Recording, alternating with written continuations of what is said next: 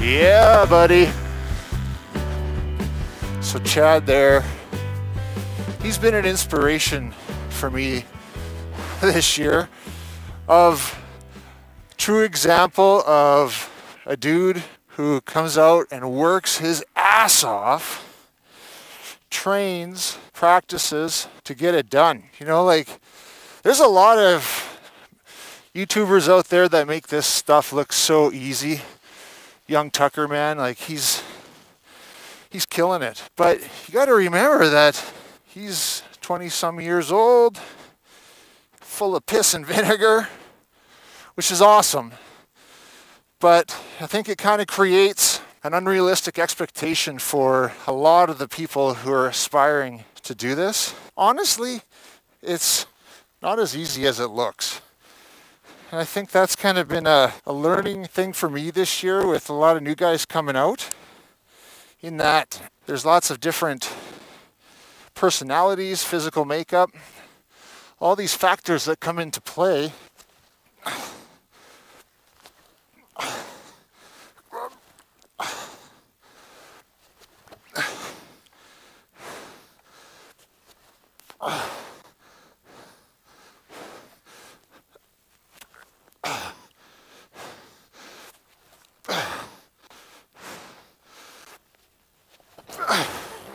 Oh, Jesus.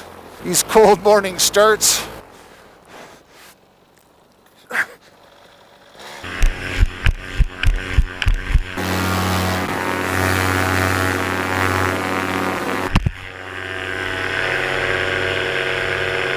Okay. What I was saying is that I think being able to do this sport effectively, it takes a lot of practice. Like it's a new skill that guys are learning that is, this is something completely different than anything else in the world.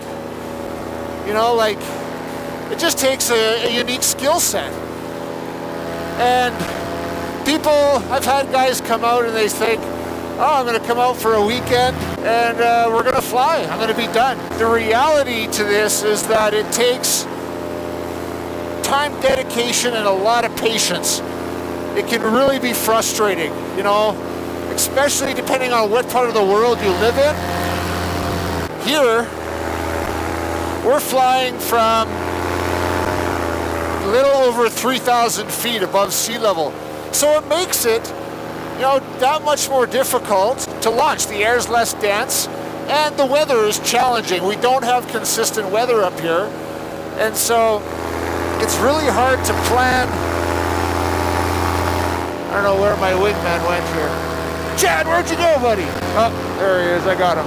And so it's it's hard to plan like a bunch of consistent days in a row of when you can, you know, realistically fly you know, here we're lucky if we get for three, four days in a row that we can fly. Like this weekend is is nice. Now that we're getting into the fall, like it was snowing like terrible here for like about a month.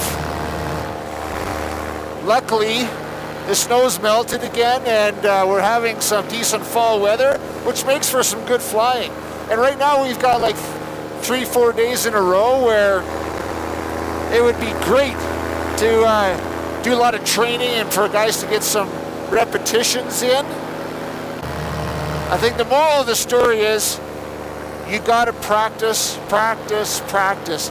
If you want this to be enjoyable and want to have a ton of fun doing this, you got to practice and expect that you've got to develop your skills and keep it going as long as possible and build upon that even between training sessions. And that makes it more enjoyable. Kyle Oakley eloquently put it in one of his recent videos where we are a uh, select group of retards because that is that's really a descriptor to a T. You know, like the mental fortitude to uh, to do this, uh, you know, either you got to be completely nuts, or rationalize the the safety behind the equipment. Oh, dude, what are you doing? I had my uh, my wingman there was coming down on me. I had to avert a crisis.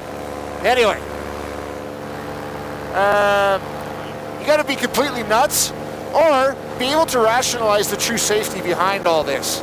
You know, like the equipment is safe.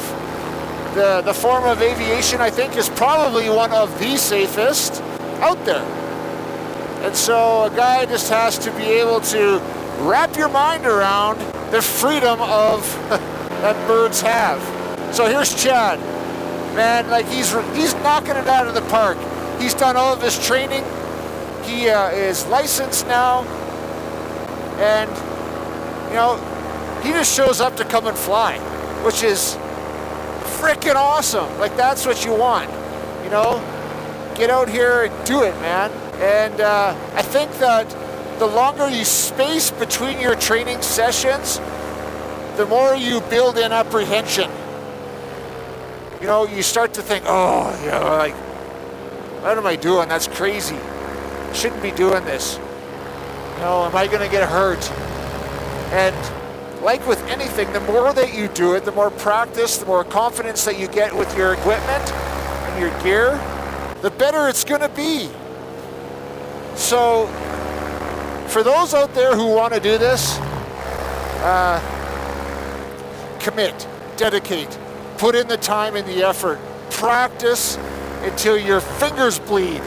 That's the moral of the story. My rant is done. Anyway, let's enjoy some flying and uh, see what this morning brings.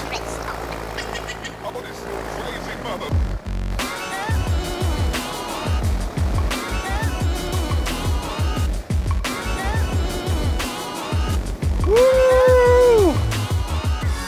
Wow, there's some G-forces there. That was cool. Oh, it's so nice. The air is just smooth as butter.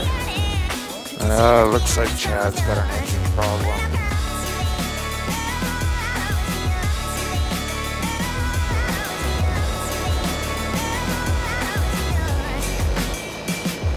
Uh, see, he didn't land into the wind.